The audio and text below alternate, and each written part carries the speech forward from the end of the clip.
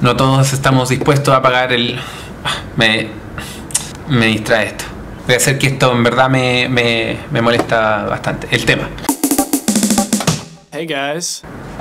Hey guys. Jueves 30 de agosto. Me corté el pelo. Tengo la avance ahí, pero no importa.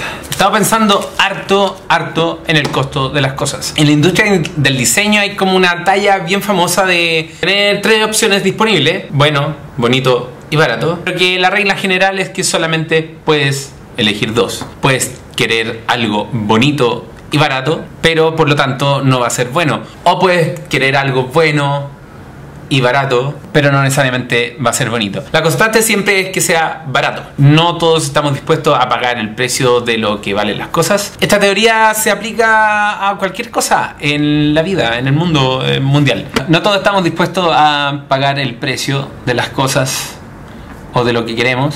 Y no siempre el precio que se paga es dinero. Este es el blog 335 de Sauce. ¿Eh? Y estoy algo confundido.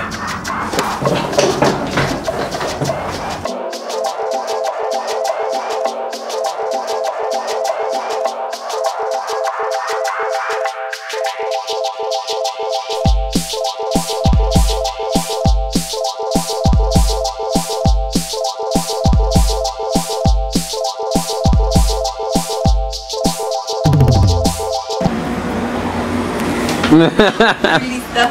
Vamos. Vamos. Sigamos con la. Sacaron a un bar que hace mucho tiempo que no sale en este lado. Siglos.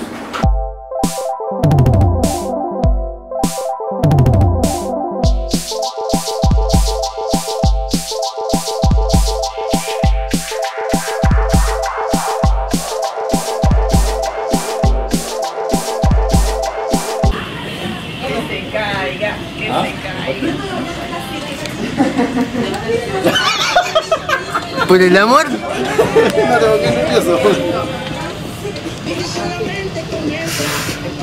Tengo que solo dejarlo, solo dejarlo. Se salvó. ¿No? No te quedes. Oh. Mira qué campeón. Yo me tengo que sentar. Dale, a ver, vamos. ¿No me podías salir un número más? Oh, seca. Ahí va, ahí va, ahí va. Ay, marica. Oh. Falta una. Se cae, que se cae. No. Vamos para el blog, para el blog, para el blog. Ahí va.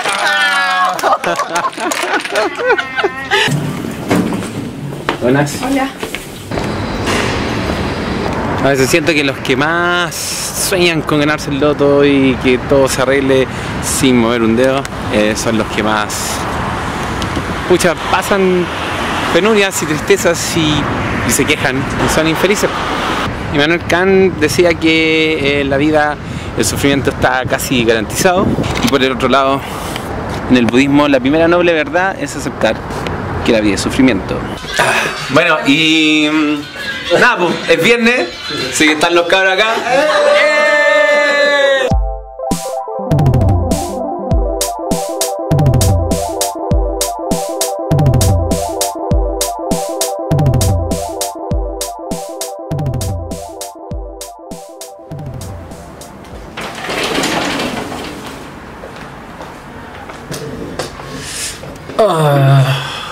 Muchos de los que no están dispuestos a pagar el costo de su felicidad es por placer. El placer de la zona de confort, la victimización, el placer de sentirse seguros y de que nada cambie. Pero en realidad sin cambio o sin dolor eh, no hay crecimiento. Entender la felicidad como placer y buscarlo solo en esa sensación esconde un escape de no arriesgar, no sacrificar o no renunciar a algo que creemos importante. Ese escape nos hace sentir eh, poco felices, porque usualmente la felicidad que tenemos en la mente es, eh, es- es tan perfecta que jamás la alcanzaremos. Y entonces cuando tratamos de intentarlo eh, y fallamos, eh, pucha, confirmamos nuestros miedos. En mi caso, yo estoy trabajando en enfocarme en el proceso de crecer en aprender cómo hacer las cosas aun cuando sienta miedo, en apostar alto a pesar que pueda perder y no creer en los atajos. Porque mm, no, no hay atajos para nada, en realidad. Entender la felicidad como producto de mi crecimiento y no como una pastilla que tomo cada vez que las cosas se ponen difíciles y no querer enfrentarlas. Y que lo barato nunca será ni tan bonito ni tan bueno. Porque todo tiene un costo, todo, todo. Incluso hacer un correte en la casa. Este fue el blog 335 de un blog de Sauce y nos veremos en el próximo video. Pero muchas fotos todavía no se toman. Esto parece película. Parece película. Esta es categoría asiática. Me siento estrella de cine.